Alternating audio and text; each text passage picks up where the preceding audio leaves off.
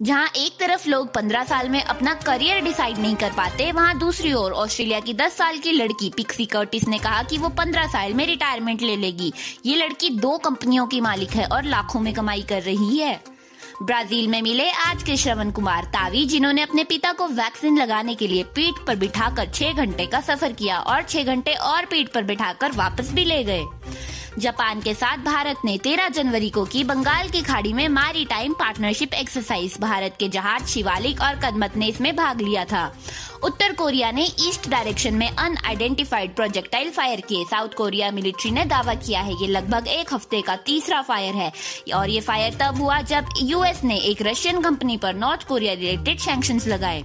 UK के prime minister Boris Johnson की post को है खतरा। लोगों ने इनसे रिजाइन करने के लिए कहा। आरोप है कि कोरोना के रूल्स फॉलो नहीं किए और अप्रैल में प्रिंस फिलिप्स के फ्यूनरल से चंद घंटे पहले एल्कोहल पार्टीज़ की।